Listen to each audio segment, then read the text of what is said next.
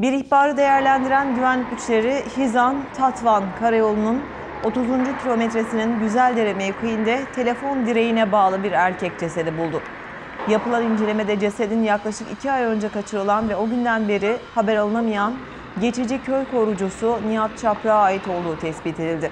Çaprak'ın direğe bağlandıktan sonra uzun namlu silahlarla tarandığı belirlendi.